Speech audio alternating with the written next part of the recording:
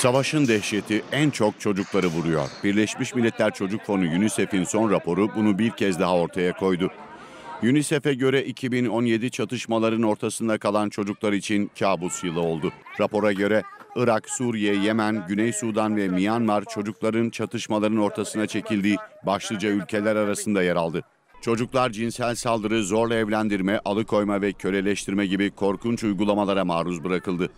Raporda radikal grupların çocukları kaçırarak aralarına kattığı belirlendi. Kurtarılan çocukların da güvenlik güçlerinin istismarına maruz kaldığına dikkat çekildi. Savaş bölgelerindeki çocukların yetersiz beslenme ve salgın hastalıktan müzdarip olduğuna vurgu yapıldı. İngiliz The Guardian gazetesinin haberine göre 2017 rakamları dehşet verici. Nijerya, Çad, Nijer ve Kamerun'da faaliyet gösteren Boko Haram terör örgütü 135 çocuğu intihar bombacısı olarak kullandı. Bu rakam bir önceki yılın 5 katı. Demokratik Kongo Cumhuriyeti'nde 850 bin çocuk çatışmalar nedeniyle evlerini terk etmek zorunda kaldı. 200'e yakın hastane ve 400 okul hedef alındı.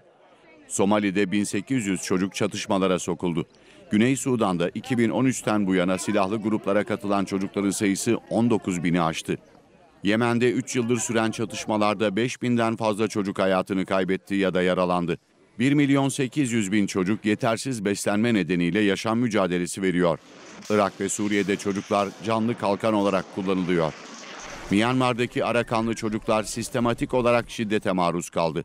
Arakan'da komşu Bangladeş'e kaçan 650 bin kişinin yaklaşık yarısını 18 yaş altı çocuklar oluşturuyor.